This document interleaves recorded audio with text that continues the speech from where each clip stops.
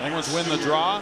Matt Niskanen, there was a hooking penalty on that play, so Stuart is in the box. There's a shot, score, Paul Martin. Welcome back, Marty. He scores to make it three to two, another power play goal.